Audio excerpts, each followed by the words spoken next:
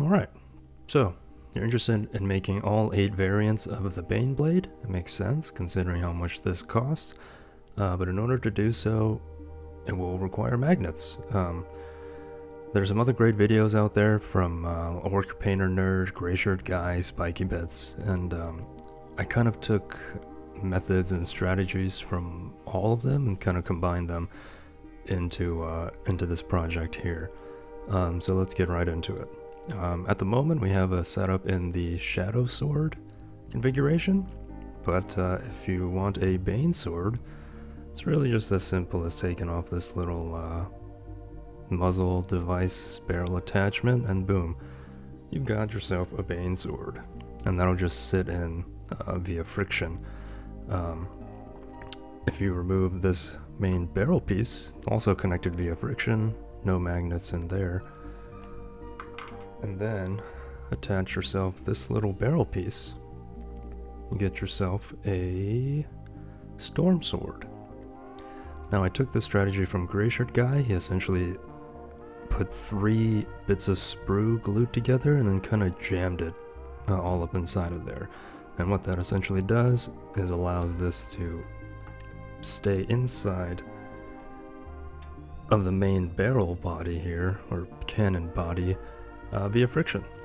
One thing to note is that when you do this, uh, it may require that you cut some of the sprue, kind of like kind of shave some of the sprue uh, off of the edges here so that it fits both inside the barrel and then within here.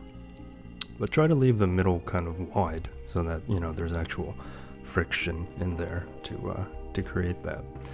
Now, the main magnet parts here involve the removal of this.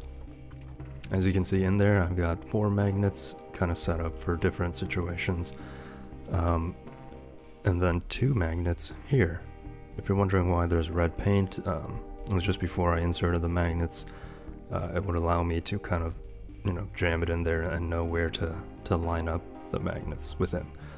Um, so yeah, and this is taking three, three by one, three millimeter by one magnets and um, you know just taking the little hand vice drill and then drilling into the sides and super gluing in some magnets. Um, I did take this strategy from OrcPainterNerd, and by the way, all of these videos will be in the description below so that you can kind of see, um, you know, every method and configuration used here, um, just just so that you have all the information.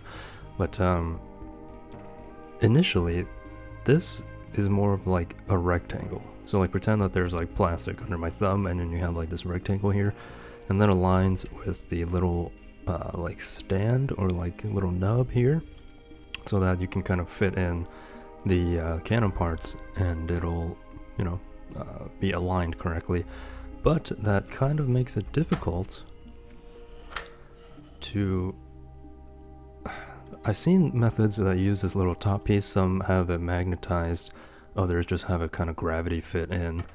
Um, and I don't know, I, I didn't want the whole thing that I'm doing is that I don't want rattly plastic and I don't really want little fiddly bits that are kind of magnetized. Um, and I only wanted to use the magnets that I had on hand. I didn't want to, you know, go out and, and buy additional stuff just for this project.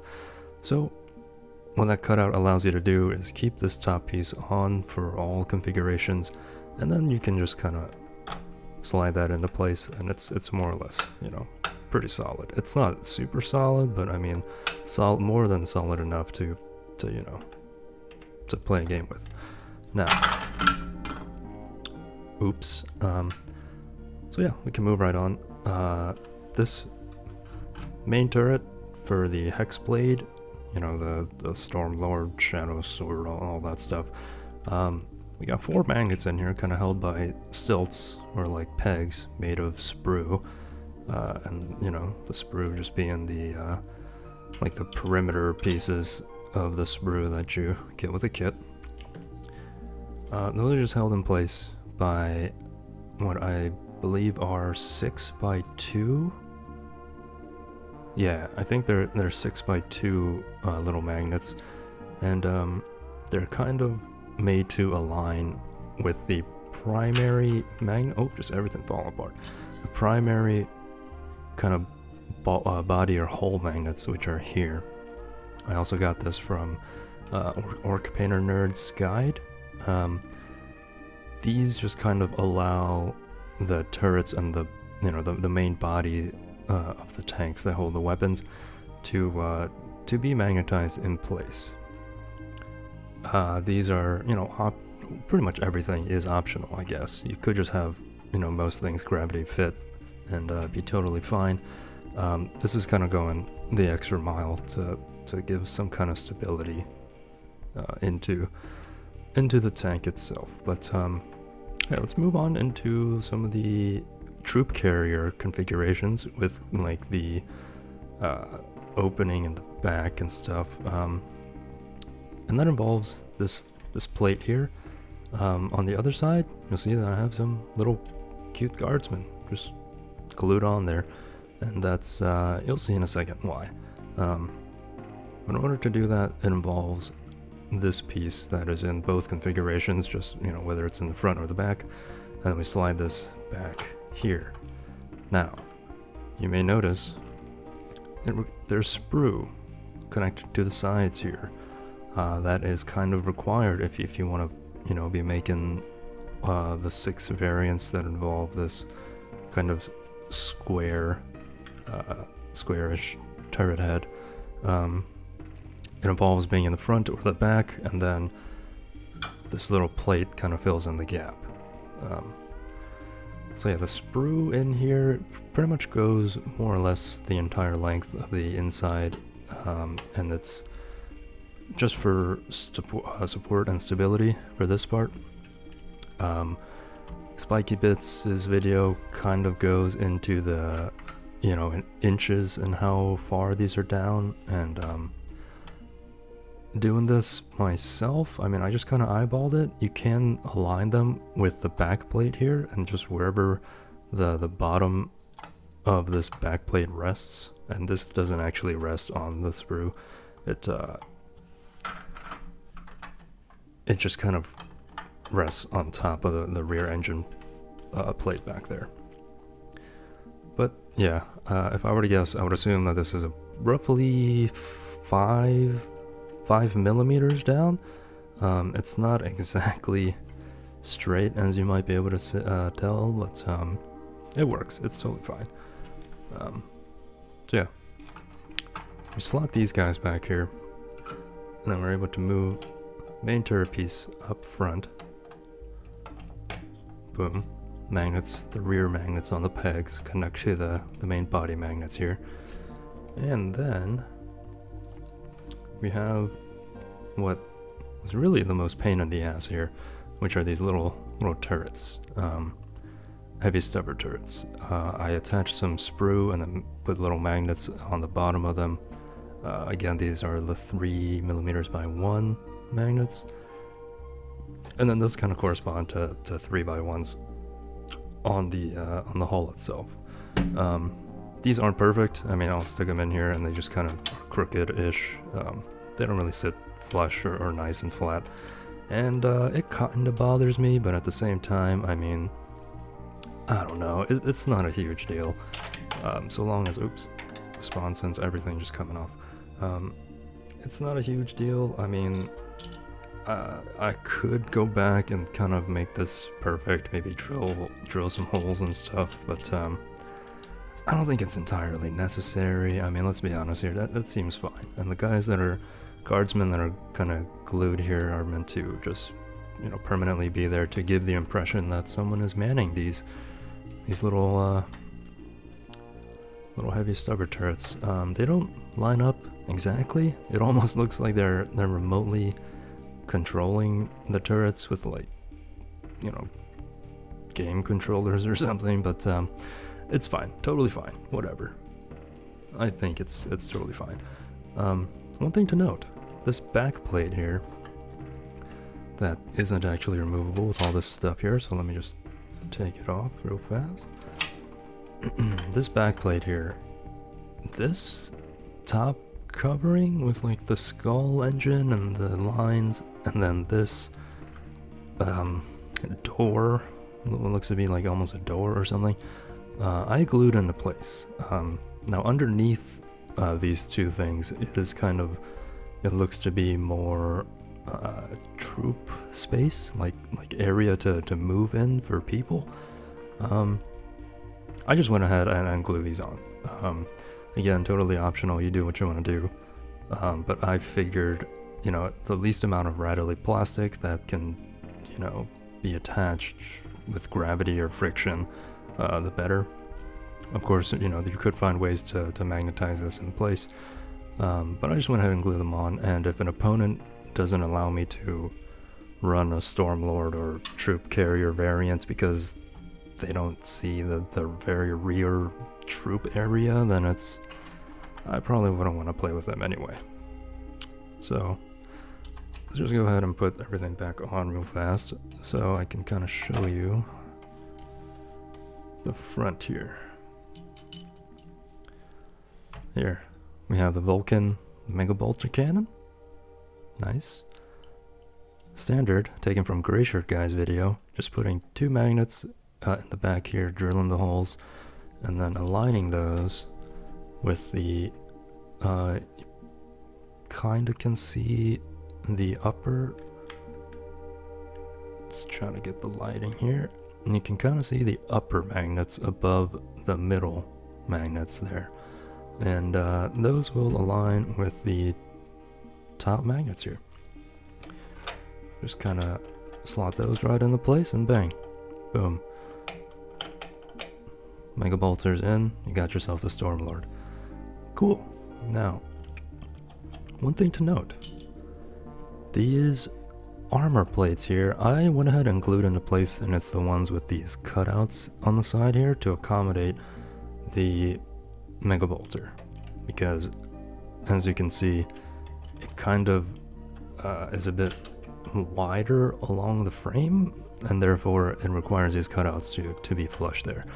Um, I found in the instructions all of them pretty much uh, mention using these plates, but uh, you'll probably see that there are these plates as well for the front that just, you know, slot in to the exact same place but don't have those little cutouts on the side.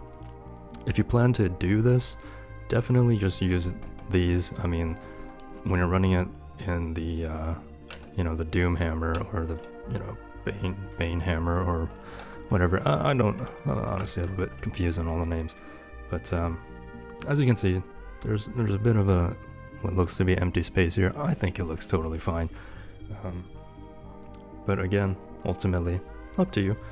Um, these can just kind of gravity fit into place. Like you don't necessarily need um, to glue them or or magnetize them, but if you find a way to do it, let us know. Just to show, um, you know, that this also just kind of friction fits into place for uh, to go from a Banehammer to a Doomhammer. I mean, yeah, I mean it's totally fine. That's actually a much more solid connection than at the end of the the Shadowsword cannon. But um, yeah, totally fine. That's cool. Um, again, we're gonna remove this, and I guess because all the sponsons have pretty much fallen out, we can just kind of show those. There is a magnet on the inside of this, approximately right in here within this little square part, kind of where the two uh, side pieces meet. And that's where I've placed uh, what I believe is a 6x2 magnet, just a, you know, moderately sized magnet. Um, and that's on the inside of this. I wish I'd taken a picture before I'd glued the top part on. But uh, that corresponds to the magnet we have in the sponson. Just kind of attached via, you know, sprue peg, uh, standard thing kind of for this whole build. And, uh, yeah, that allows you to, uh, just kind of magnetize these on and, you know, remove them if you don't want them, whatever, it's fine. Uh, these lascannon turrets, glued in, uh, 3 by one millimeter magnets. Um, this just seems to be something that everyone does, and um, I just followed suit because the holes are already 3 millimeters. It just requires jamming some glue in there and then sticking in your magnet. Totally fine. Bolters. Do you don't want bolters? We can have flamers because there are 3x1 magnets on the weapons themselves, which require you to remove uh, the plastic that's either kind of set in there with an X-Acto knife, or if it's on, I believe, this side, it'll be a kind of like a peg that sticks out that you can just cut off with, uh, you know, plastic cutters, and then uh, drill into it to put in a 3x1. So yeah, let's say you don't want to be running heavy bolters for whatever reason, and you want your flamers. Then uh, you just kind of jam them in here, and uh, yeah, totally fine. They still angle up and down. They go left and right. Totally fine. Left side I find to be a little bit tricky to get into, but totally went in fine, and yeah. Cool. Those are the sponsons. Bang. Now, moment everyone wants to know when you're making these hex blades is can you make the Baneblade too? And the answer is of course you can. So long as you take the time to, you know, magnetize the right things, kind of line everything up, you can totally make the octoblade magnetize and no problem. Now that requires this little plate to be removed. One thing to note, these plates have two little tabs here on both sides and those are to be aligned with these two holes here. Uh, yeah, just go ahead and, and, take, you know, sprue cutter or whatever and just chop those off. Um, maybe if you want to sand them down or get them to be uh, nice and smooth with an X-Acto knife, definitely do that. Just requires moving into this other plate here. Oops, and uh, yep, that fits nicely. And then you take your Baneblade little turret here. Let's just go ahead and show the magnets. Uh, I went ahead and used more of these 6x2 magnets. Um, now this, again, doing the hull magnets, like the main hull magnets on the Baneblade as well as the, um, you know, the, the Hex Blade, um, uh, you know, turret, turret head or whatever. Um, it really requires a lot of patience and a lot of trial and error. As you can see, many mistakes were made on this side, just trying to get it lined up and uh, close enough to the actual magnet to get there. Um, not so much on this side, I tried a different technique and that, that seemed to work out on this side, but not the other side. Um, so yeah, just keep in mind that it, it will require some patience and, uh, you know, good luck, take your time with it. Um, but yeah, just to show that it totally is possible. This just slides nicely right into here and bang. Totally slots in. Maybe a bit of a gap here, but uh, I think as you line it up bit more nicely, totally fine.